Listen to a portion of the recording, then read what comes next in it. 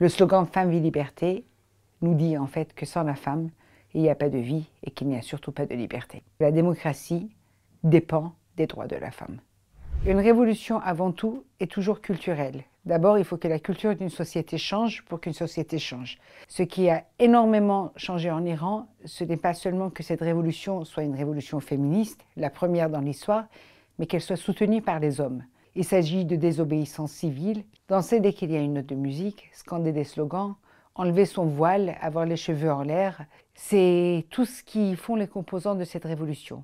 Mais je suis sûre et certaine que notre révolution va réussir parce que la société, la culture de la société a changé. En mars 1979, les femmes iraniennes sortaient de la rue en scandant le slogan Les droits de la femme sont les droits de la société. Sauf que en 1979, il n'y avait pas d'hommes qui les soutenaient, ou très peu. Aujourd'hui, la société civile iranienne a compris que sans les droits de la femme, la démocratie est impossible. Le slogan Femme, vie, liberté nous dit en fait que sans la femme, il n'y a pas de vie et qu'il n'y a surtout pas de liberté. La démocratie dépend des droits de la femme. Le premier langage de l'être humain était le dessin, bien avant l'écriture. Il y a une sorte d'abstraction dans le dessin qui fait que n'importe qui peut s'identifier à un dessin, puisqu'une expression humaine, qu'il soit heureux ou malheureux, est exactement la même chose sur tous les êtres humains.